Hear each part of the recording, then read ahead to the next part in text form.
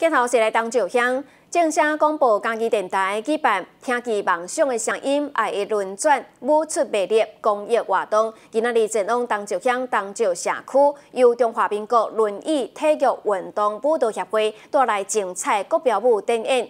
绚丽多彩的歌声、舞影，毋但互民众感受到身心障碍者发挥身体上大可能性所展现的生命美丽姿态，也将这份展现力甲美的生命节奏，甲社区人。的时代同乐交流，也锁定时代的信心。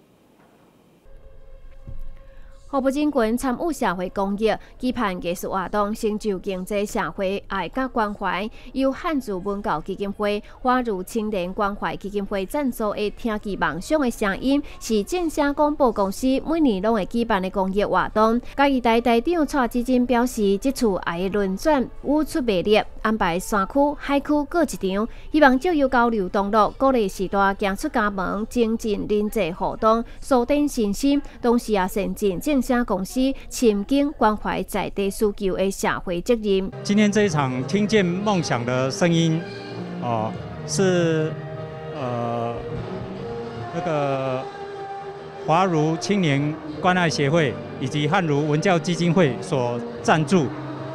那今天我们邀请到中华民国呃轮椅体育运动舞蹈协会啊来呃参加这一场活动。那我们希望借助这些生长者他们呃的舞出力与美的生命力，那带给社区的长辈，希望他们也能走出户外啊，跟大家一起来同乐。那希望我们借助这一场公益活动，让更多长辈能够呃共享生命的美丽，也欣赏到艺术的。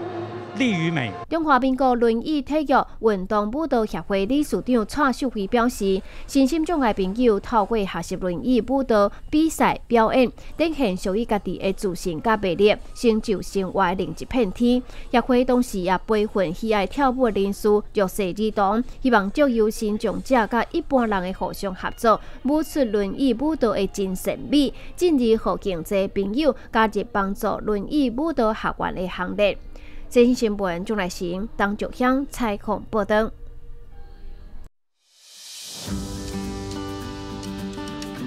嘉义优先这个品牌是必须要走的一条路，有品牌就有责任。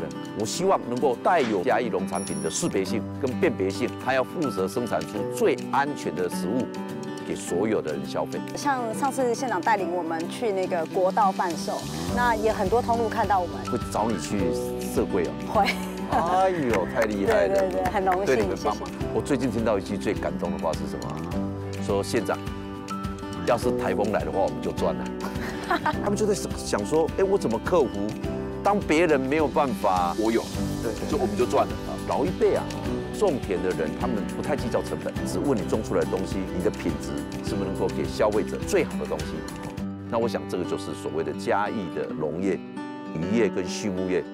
最好的传承就是嘉义精神，这个传承的责任就在你们的身上。